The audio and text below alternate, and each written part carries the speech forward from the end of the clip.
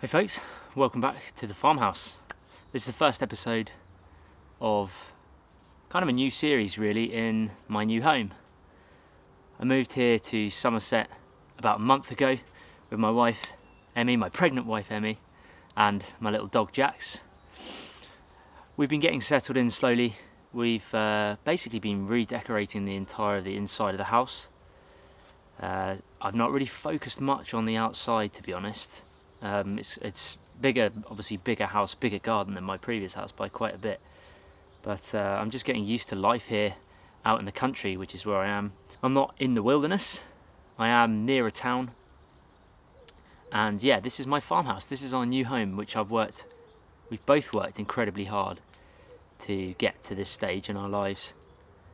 And I feel incredibly blessed to have a house like this in a location like this and to be able to do the things that I do. At the moment I'm just working on a little wood sawhorse which is part of a bigger project which I'm going to be doing here at the farmhouse.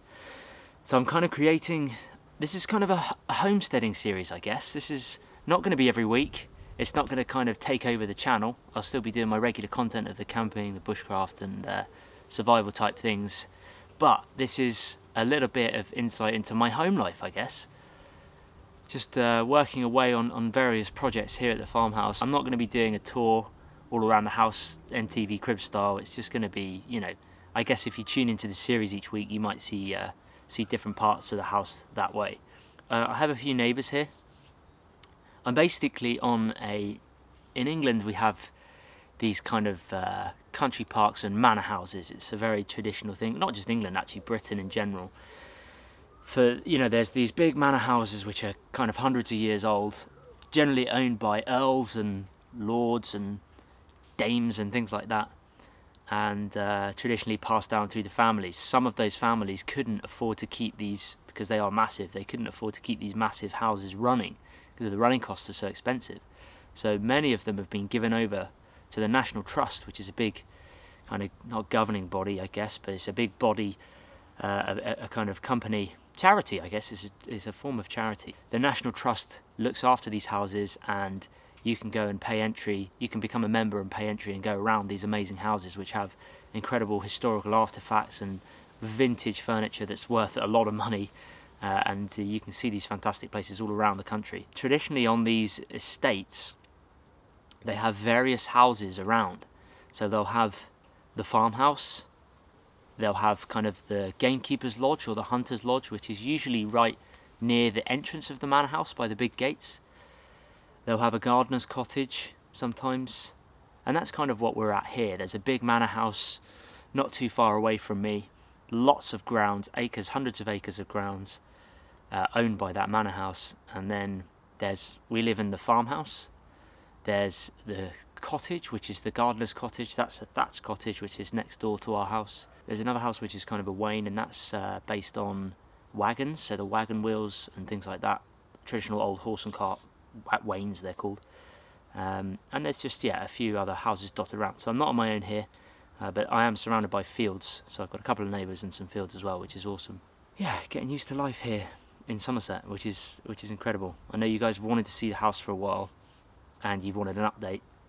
So this farmhouse series is basically going to be a little document of what I do here at the homestead, what I do here at the farmhouse. I've got a couple more projects which I'm going to do, which I'll obviously document in this farmhouse series. I may, might film some indoor stuff as well. Um, I've been working away under my apple trees here. I've got a couple of apple trees. Lots of kind of interesting things I can do here actually. Uh, probably going to get a workshop built at some point where I can do some woodworking and uh, various kind of crafts here at home because obviously I'm going to be a dad soon guys. I've got a kid on the way. Uh, so I need to be able to have things here at home that I can do on the weeks where I might not be able to get out camping or I might not be able to get out doing the other things I do. Uh, maybe get some chickens here as well.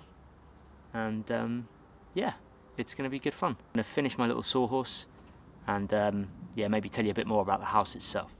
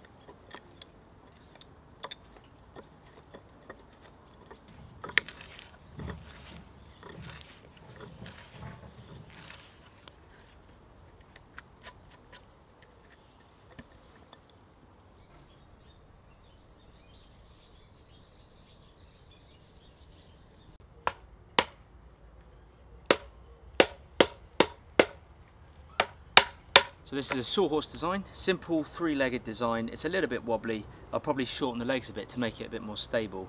But three legs is easy enough. It's very simple to make. I just use the auger. Is all made from cedar, which is obviously not ideal for sawhorse. I'd rather use hardwood, but it's what I had access to at the time. Uh, so it's only going to be kind of a temporary thing. Ideally, I'd make this out of ash or something like that. Um, got the two V notches up here just to help support any wood, stops it slipping off. I can just lock it in place and saw away. You can put a single one in here as well just to make it easier, but I've gone for a double one. I still might make a single hole there.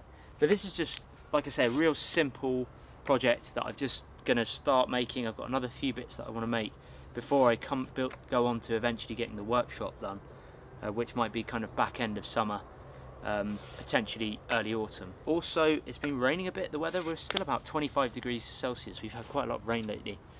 But um, yeah, it's gonna it's gonna mean that the wood's gonna expand and contract now that it's wet. So ideally, I should have uh, just done all this when it's dry, which it was yesterday. It was lovely weather, but that's you know that's by the by. Um, it will just loosen the joints a bit, and then I'll make the legs again a bit shorter and put them in when it's dry. I think it's time to head inside and get some food.